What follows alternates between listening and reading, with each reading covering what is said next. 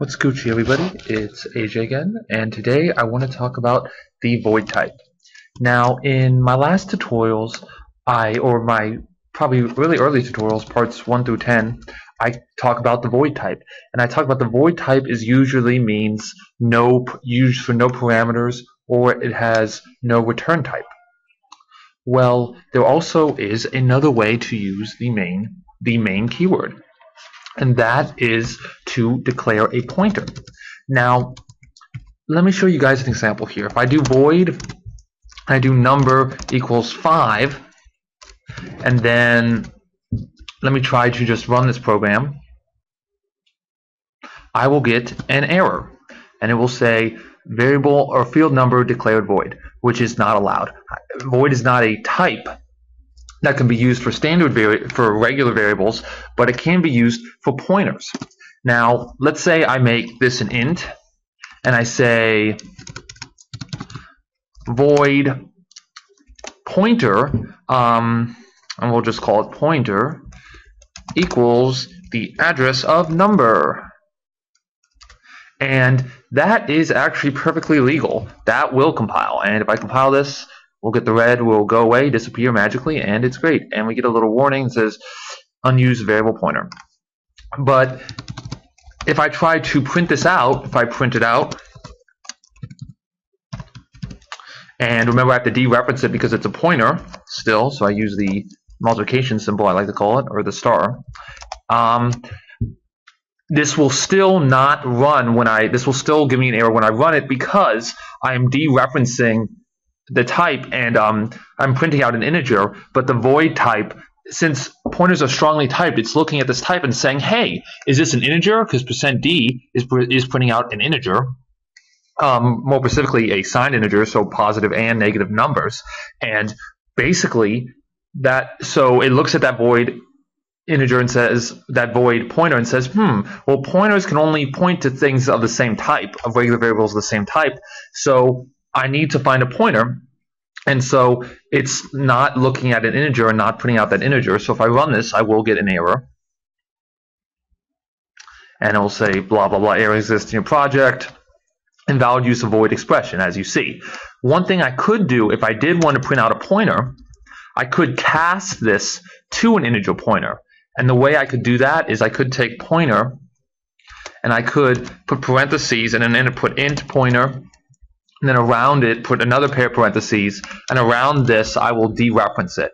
So what happens is the inner, before order of operations, the innermost parentheses get calculated first. So first I will take this in, I will take this in pointer, uh, this type in pointer, and cast it to the pointer. So it will go from a void to an in pointer. So now my pointer my printf statement knows I have I'm using an integer pointer for at least this operation. This doesn't change this void pointer to an integer pointer, but it changes it for this operation or acts like it's an integer pointer for this operation. And then once all that's done, on the outside of the parentheses, I put a dereference symbol. And if I run this, I should get a 5. Let me drag this over. And see, there you go, I get 5. And that's really important, and that's what's kind of cool about void, or not cool is that it doesn't it's really it really kind of means there's nothing there. You're not supposed to know the type. Um, I, I really wanted to show you guys this example because the example function that I've shown you guys is malloc as you can see here. It returns a void type. This and it says this function returns a pointer to a newly allocated size bytes long or a null pointer if the block could not be allocated. So um, one thing you cannot do with a void pointer is you can't do size of void because it's really not a type and size of void is not defined. So you can't do that. You only do size of integer or size of struct or size of union or size of anything. You can't do size of void. So that's important to remember.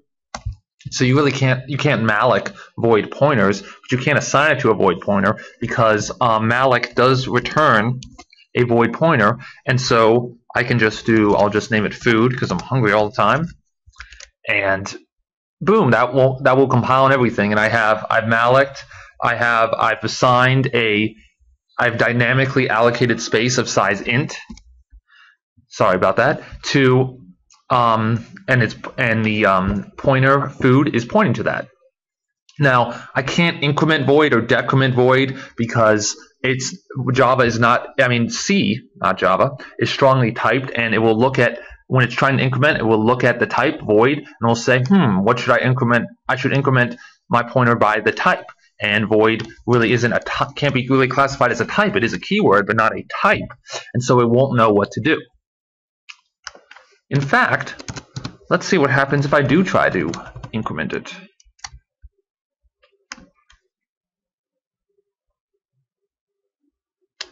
and actually I didn't really get any errors.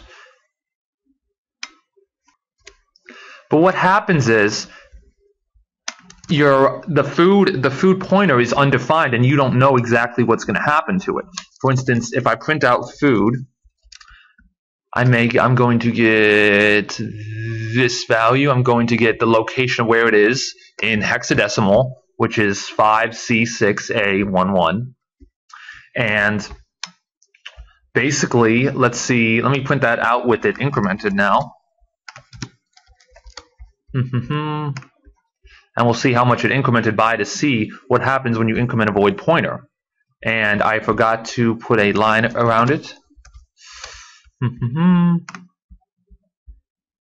I forgot to put a new line character, so it printed out badly. That's what I'm showing, guys. And let's see, it incremented by one single byte. So that's what it may do by default. So maybe, so size of int, so size is defined, I guess, it's just, in, it's literally incrementing by one, and that is the default of what it prefers to. Actually, I'm not absolutely sure, and I'm probably not qualified to make a video on this, but my guess is that you don't want to be doing this anyway. But my guess is that you can Google if you want to preliminary answer is that it defaults to just going up one byte since it, it's not strongly typed and it doesn't know what to go up by. So it may default to one byte or void may be defined as one byte. If I make this size one of size of void,